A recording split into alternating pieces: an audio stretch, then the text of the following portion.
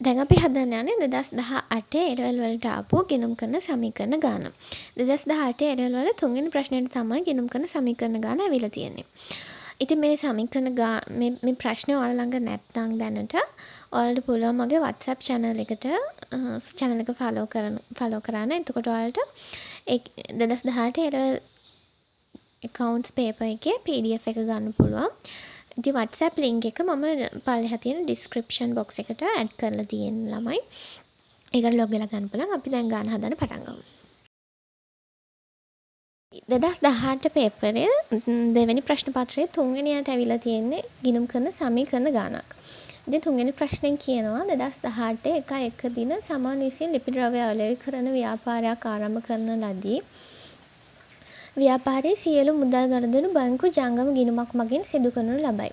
ව්‍යාපාරය කළමනාකරු ලෙස සමන් සේවය කරන අතර විකුණුම් සහ තොග පවත්වාගෙන යාම සඳහා සහාය වීමට සේවකයෙකු බඳවා ගන්නා ලදී. 2018 ජනවාරි මාසයේදී පහත ගනුදෙනු ව්‍යාපාරය තුළ සිදුවිය. එතකොට මේක ලිපි ද්‍රව්‍ය අලෙවි කරන ව්‍යාපාරයක්. අපිට දීලා තියෙනවා ගනුදෙනු 12ක්.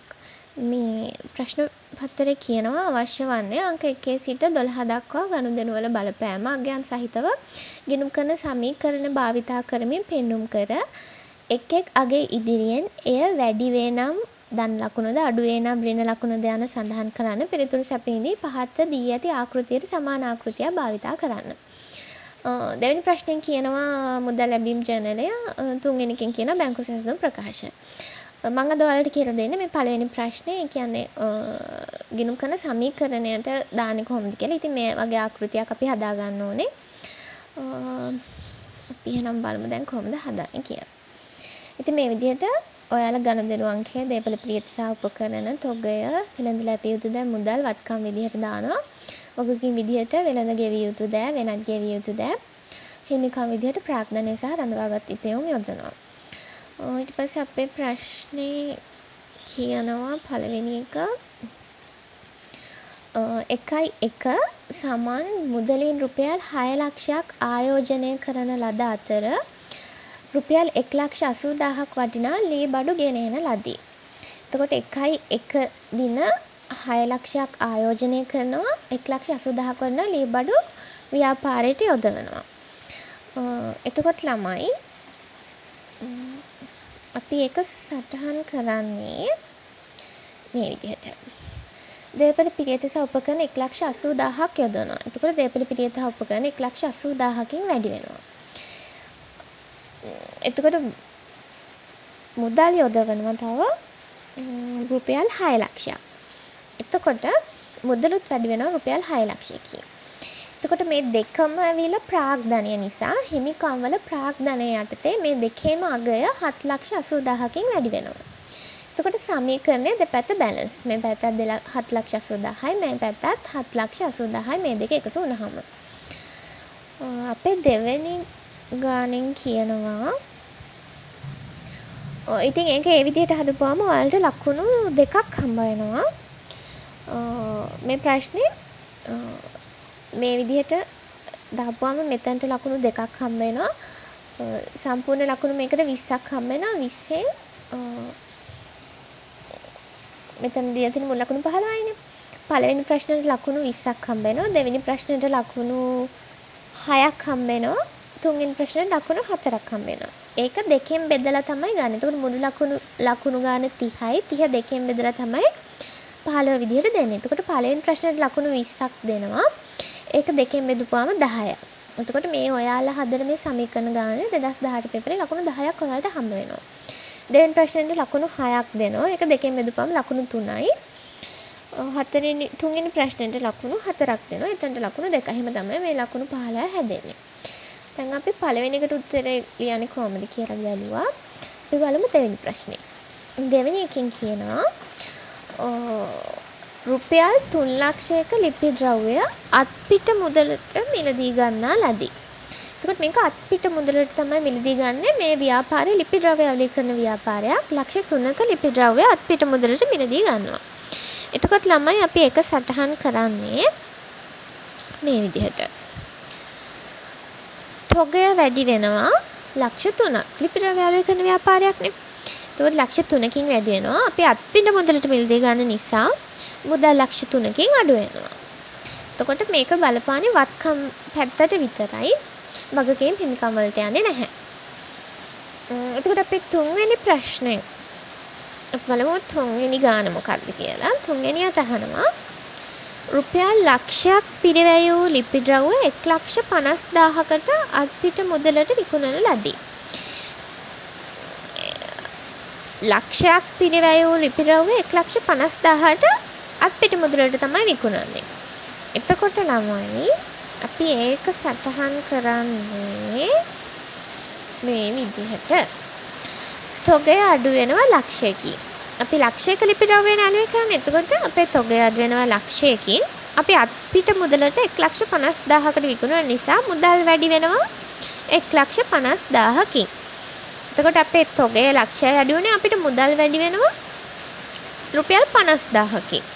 ඒක අපි හිමිකම් වල රඳවාගත් ඉපයුම් යටතේ 50000කින් වැඩි වෙනවා කියලා පෙන්නනවා. එතකොට සමීකරණේ දෙපැත්ත බැලන්ස්. මෙතන 50000යි මෙතන 50000යි. මෙතන සමාන ලකුණෙන් පෙන්වන්නේ දෙපැත්ත සමානයි කියලා. එතකොට තොගය ලක්ෂයකින් අඩු වෙනවා මුදල් 1,50,000කින් වැඩි වෙනවා. ඒ දෙක අතර වෙනස 50000යි. ඒක අපි හිමිකම් වල රඳවාගත් ඉපියුමට දානවා 50000කින් වැඩි වෙනවා කියලා.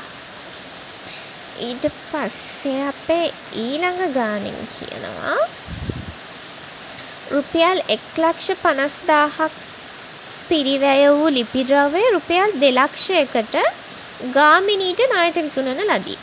1,50,000ක පිරිවැය වන ලිපි ද්‍රව්‍ය අපි 2,00,000කට ණයට තමයි විකුණන්නේ. එතකොට අපි ඒක සටහන් කරන්නේ ළමයි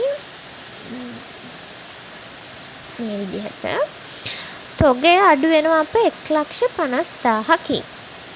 වෙළඳ ලැබිය යුතු දෑ කියන්නේ ණය ගැතියෝ. අපි ඒක ණයටනේ විකුණන්නේ. අපි 1,50,000ක් වන තොගයක් අපි 2,00,000කට ණයට විකුණනවා. එහෙනම් අපේ ණය ගැතියෝ වැඩි වෙනවා ලක්ෂ දෙකකින්. එතකොට මේ දෙකෙන් අපිට 50000ක ලාභයක් තියෙනවා. ඉතින් ඒක අපි රඳවාගත් උපයෝම යටතේ දානවා 50000ක් වැඩි වෙනවා අපේ ලාභය. ඉතින් මේ විදිහට තමයි හතරවෙනි ගැළපිල්ල අපි ගිණුම් කරන සමීකරණයට දාන්නේ. එතකොට ඊළඟ එකෙන් කියනවා පස්වෙනි එකෙන් රුපියල් 4 ලක්ෂයක ලිපි ද්‍රව්‍ය සීමිත ජයමාල් පොද සමාගමෙන් ණයට මිලදී ගන්නා ලදී. අපි ලිපි ද්‍රව්‍ය ණයට ගන්නවා ලක්ෂ 4ක. මේ ව්‍යාපාරය සමන්ගේ ව්‍යාපාරය. ඉතින් සමන් 4 ලක්ෂයක ලිපි ද්‍රව්‍ය ජයමාල් පොදු සමාගමෙන් තමයි මේ ණයට මිලදී ගන්නෙ. එතකොට අපි ඒක සටහන් කරන්න ළමයි මේ විදිහට. අපේ තොගය වැඩි වෙනවා 4 ලක්ෂයකින් අපි ණයට ගන්නවා. ණයට ගන්නකොට අපේ තොගය වැඩි වෙනවා. ඒ වගේම අපි ඒ ණය ගෙවන්න ඕනේ. ඒ හින්දා අපේ ණය හිමියොත් වැඩි වෙනවා 4 ලක්ෂයකින්. වෙළඳ ගෙවිය යුතු දෙයක් කියන්නේ ළමයි ණය හිමියන්ට. එතකොට සමීකරණයේ දෙපැත්තත් සමානයි මේ ගැළපිල්ලත් හරි එතකොට. තොගය 4 ලක්ෂකින් වැඩි වෙනවා. ණයට ගත්ත හින්දා ණය හිමියෝ වැඩි වෙනවා 4 ලක්ෂකින්. ඊළඟ ගැළපිල්ල 6 වෙනි එක. රුපියල් 3 ලක්ෂයක් පිරිවැය වූ රිපි ද්‍රව්‍ය 2,80,000කට නිමල්ට ණයට විකුණන ලදී. එතකොට අපි 3 ලක්ෂයක් පිරිවැය වෙන තොගය තමයි අපි 20000ක් අඩුවෙන් ඒ කියන්නේ 280000කට නිමල්ට ණයට විකුණන්නේ. එතකොට අපි ඒක සටහන් කරන්න ඕනේ මේ විදිහට අපේ තොගය අඩු වෙනවා ලක්ෂ 3කින්. ඒ වගේම අපේ වෙළඳ ලැබිය යුතු දෑ කියන්නේ ණය ගැතියෝ. ඉතින් ලක්ෂ 3කින් තොගය අඩු වෙලා අපි 280000කට විකුණන්නේ. ඒ කියන්නේ අපේ තොග පිරිවැයට වඩා අඩු ගාණකට තමයි අපි විකුණන්නේ. එතකොට 280000කින් තමයි අපේ ණය ගැතියෝ වැඩි වෙන්නේ. එතකොට මේ දෙක අතර වෙනස රුපියල් 20000යි. ඉතින් 20000කින් අපේ අපේ මේක වෙලා අපේ අලාභයක්. එතකොට 20000කින් අපේ රඳවාගත් පියුම් අඩු වෙනවා හිමිකම් යටතේ. ඉතින් 6 වෙනි ගැළපිල්ල මේ විදිහට තමයි සටහන් කරන්නේ. ඊළඟට අපි යනවා 7 වෙනි ගැළපිල්ලට. 7 වෙනි එකේ කියනවා ගාමිණීගෙන් ලැබිය යුතු මුළු මුදල ලැබුණි. එතකොට අපි පොඩ්ඩක් ගාමිණීගේ ගැළපිල්ල බැලුවොත් ගාමිණීට අපි හතරවෙනි ගැළපිල්ල කියන 1,50,000ක පිරිවැය ලිපිරාවේ 2 ලක්ෂයකට තමයි ණයට විකුණන්නේ. එතකොට ගාමිණී අපිට දෙන්න තියෙන්නේ රුපියල් ලක්ෂ 2යි.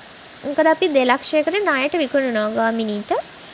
ගාමිණීගේ උන එකම ගනුදෙනුව ඒක විතරයි. ඉතින් ගාමිණීගෙන් අපිට ලැබෙන්න ඕනි ඔක්කොම මුදල් ටික ලැබෙනවා. ඒ කියන්නේ අපිට රුපියල් 2 ලක්ෂයම ලැබෙනවා.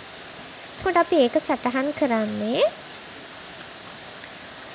අපේ ගාමිණී කියන ණය ගැතිය අඩු වෙනවා ලක්ෂ දෙකකින්. එයා අපිට ණය ණය ණය ගත්තේ ණයට ගත්තේ ලක්ෂ දෙකක. ඉතින් ඒ ලක්ෂ දෙක මෙතන අඩු වෙනවා. අපිට මුදල් වැඩි වෙනවා ලක්ෂ දෙකකින්. මුදල් වැඩි වෙලා ණය ගැතිය අඩු වෙනවා. ගාමිණී යාට දෙන්න තියෙන ඔක්කොම සල්ලි ටික ව්‍යාපාරයට දුන්නා.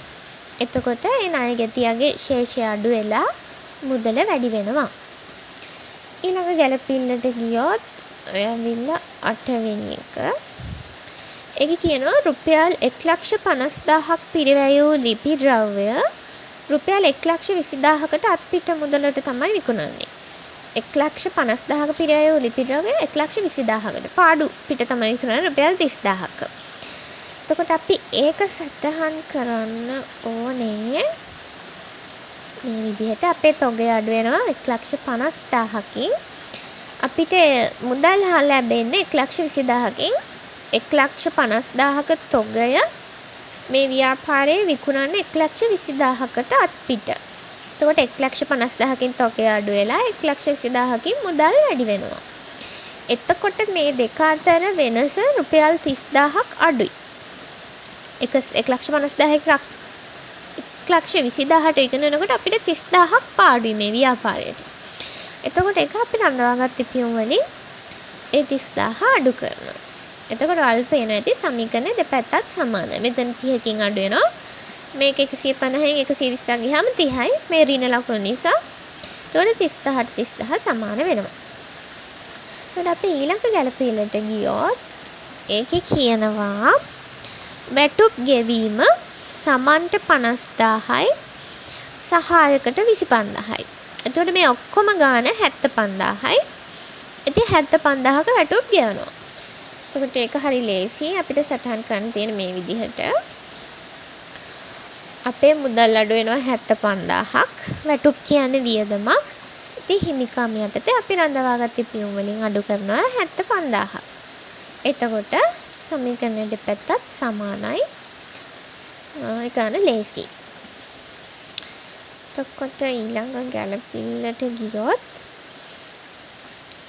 මාසය සඳහා කාර්යාල වියදම 40000ක් දරන ලද අතර එයින් 30000ක් ගෙවන ලදී.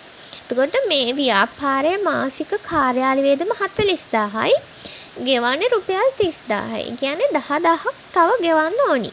ඒක වගකීමක්. ගෙවිය යුතුයි දහදාහක්. ඉතින් ඒ ගැලපිල්ල අපි සටහන් කරන්නේ මේ විදිහට. අපි මුදලින් ගෙවනවා 30000ක්. නමුත් අපේ මාසයකට අදාළ කාර්යාල වියදම 40000යි. එතකොට 30000යි තමයි අපි මුදලින් ගෙවන්නේ. හින්දා මුදල් අඩු වෙනවා 30000ක්. 40000ක් හිමිකම් වල රඳවාගත් ඉපයුම යටතේ අඩු වෙනවා. මේ 10000 වගකීමක් අපි ඒක වෙනත් ගෙවිය යුතු දෑ විදිහට තමයි සටහන් කරන්නේ. ධන ලකුණත් එක්ක 10000. වෙළඳ ගෙවිය යුතු දෑ යටතේ දාන්න. මොකද ඒක ණය හිමියොන්ගේ. කියන්නේ අපි විකිණීමේ පරමාර්ථයෙන් ණයට මිලදී ගන්න අයගේ සැපයුම් කරුවන්ගේ ගෙන් ණයට ගන්නවා නම් තමයි අපි එතන සටහන් කරන්නේ. මේක වෙනත් ගෙවිය යුතු දෑ යටතේ වෙන දානවා 10000ක්. එතකොට මේ දෙපැත්ත සමීකරණ 30 ඍණ 30000ට සමාන වෙනවා. 40000කින් රඳවාගත්තේ පියුම් යටතේ අඩු වෙනවා. 10000ක් ගෙවිය යුතුයි. ඒ 10000 වෙනත් ගෙවිය යුතු දෑ යටතේ සඳහන් කරනවා. 30000යි මුදලින් ගෙවන්නේ. එහෙනම් ඒක මුදල් යටතේ අඩු වෙනවා 30000ක්. එතකොට ඊළඟ ගැලපිල්ලට ගියොත් 11 වෙනි ගැලපිල්ල රුපියල් 10000ක වට්ටමක් ලබා දීමෙන් පසු නිමල්ගෙන් ලැබිය යුතු මුළු මුදල ලැබුණි. අපි නිමල්ට විකුණනවා හයවෙනි ගැලපිලි කෙනා තුන් ලක්ෂ පිරවැය වූ ලිපි ද්‍රව්‍ය අපි දෙලක්ෂ අස්වදාහකට නිමල්ට විකුණනවා. එතකොට නිමල්ගෙන් අපිට ලැබෙන්න ඕනේ දෙලක්ෂ අසූදාහයි. අපි දහදාහක වට්ටමක් දුන්නහම අපිට දෙලක්ෂ හැත්ත දාහයි නිමල්ගෙන් ලැබෙන්න ඕනි. දහදාහක් අපේ දුන්නොට්ටම්. ඉතින් මේක අපි සටහන් කරන්නේ මේ විදිහට අපේ ණය ගැතිය අඩු වෙනවා. නිමල් 2,80,000කින් මේ 6 වෙනි ගැලපිල්ල අපි අර විකුණලා තියෙන 2,80,000ක්. ඒ 2,80,000 අඩු වෙනවා. ඒ ණය ගැතිය 10000ක වට්ටමකට යටත් ඔක්කොම මුදල් ගෙවනවා. එතකොට ඒ ණය ගැතියගේ සම්පූර්ණ ගාණ අඩු වෙනවා 2,80,000ක් නිමල්ගේ. අපිට මුදලින් ලැබෙන්නේ 2,70,000යි. මොකද අපි 10000ක වට්ටමක් දෙනවා. ඉතින් 10000 දුන් වට්ටම් කියන්නේ වියදමක්. එතකොට ඒක රඳවාගත්ත ඉපයුම් යටතේ අඩු වෙනවා 10000ක්. ඒක ඍණ 10000ක් විදියට සටහන් කරනවා. එතකොට මේ සමීකරණෙත් මේ පැත්ත ඍණ 10000යි 2,80,000න් 2,70,000ක් ගියාම ඒකත් ඍණ 1000 ඉතුරු වෙන්නේ. එතකොට මේ සමීකරණ දෙපැත්තත් සමාන වෙනවා. එතකොට අපි ඊළඟ ගැලපිල්ලට ගියොත් අන්තිම ගැලපිල්ල සීමිත ජයමාල් පොදු සමාගමට ගෙවිය යුතු මුදල පියවන ලදී. අපි ජයමාල් කියන සමාගමෙන් අපේ ණය හිමියගෙන් ගත්ත අපි 4 ලක්ෂයක ලිපි ද්‍රව්‍ය. පස්වෙනි ගැලපිල්ලට අනුව අපි 4 ලක්ෂයක ලිපි ද්‍රව්‍ය ගත්තා. ඉතින් 12 වෙනි ගැලපිල්ල කියනවා ඒ ගෙවන්න තියෙන ඔක්කොම මුදල් ගෙවනවා කියලා. කියන්නේ අපි 4 ලක්ෂයම සීමිත ජයමල් පොදු සමාගමට ගෙවනවා. ඉතින් ඒ ගැලපිල්ල සටහන් කරන එකත් හරි ලේසි. අපි ඒක සටහන් කරන්නේ මුදල් අඩු වෙනවා 4 ලක්ෂයකින්. අදාළ ණය හිමියත් අඩු වෙනවා 4 ලක්ෂයකින්. ඉතින් මේ විදිහට තමයි අපේ 2018 තුන්වෙනි ප්‍රශ්න පත්‍රයේ පළවෙනියට අහලා තියෙන ප්‍රශ්නෙට උත්තරේ සපයන්නේ. ඉතින් අන්තිමට එකතුව ගත්තාම මේ විදිහට එනවා. ඉතින් මේකේ නැවත ඔයාලට සුළු කරලා බලන්න පුළුවන් මේ දෙපැත්තම සමාන වෙනවා. හත් ලක්ෂ දහදාහකට හත් ලක්ෂ පාලොස් දාහකට එතකොට මේ සමීකනය දෙ පැත්තම සමාන වෙනවා. මෙතනද වාලට මේ සමීකනය තුලනය කරනවට ලකුණු දීලා නැහැ. මේ ගැලපිලි නිවැරදිව මේ සමීකරණය පෙන්නුම් කරනවට තමයි ලකුණු දීලා තියෙන ළමයි. එතකොට දැන් ඔයාලට මේ වගේ ප්‍රශ්නයක් ඔයාලගේ එක්සෑම් එකට આવොත් හරියට කරගන්න පුළුවන් වෙන්න ඕනි. එතකොට මේ ගැළපිලි වලට තමයි මේකේ ලකුණු දීලා තියෙන්නේ. ලකුණු 10ක්ම හම්බ වෙනවා. ලකුණු 15යි මේ ප්‍රශ්නෙට දීලා තියෙන්නේ. 15 ලකුණු 10ක්ම මේ සමීකරණයට නිවැරදිව ගැළපිලි දානවාට ඉතුරු ලකුණු පහ තමයි ඉතුරු ප්‍රශ්න දෙකට බෙදිලා යන්නේ.